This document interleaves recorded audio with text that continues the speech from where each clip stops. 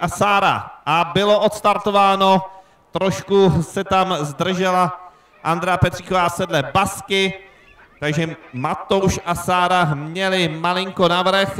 Pojďte si pozbudit svého favorita. Vypadá to, že Sára je trošku větší a bude mít navrh. Sára v cíli první, na druhém místě Matouš a Baska s Androu Petříkovou ještě dobíhá do prostoru cíle. Je to nejmenší poník.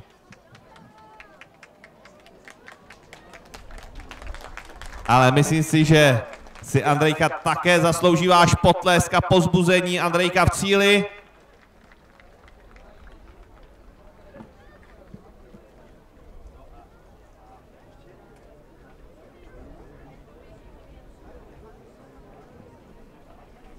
No a já poprosím účastníky dostihu podniku, kteří mají svůj dostih za sebou, když tak pojďte do písku k bariéře a mezi tím dáváme pokyn starterovi, aby odstartoval druhou rozjížďku, druhý dostih podniku s koutkou výškou nad 121 cm, kde se nám představí Maggie, Cassie, Nutflair a Danieta.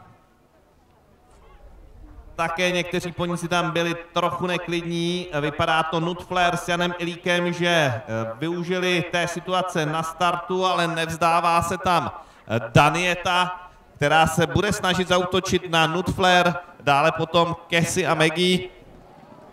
Nakonec Nutflair v cíli jako první s Janem Ilíkem, Danieta na druhém místě, Maggie a Cassie.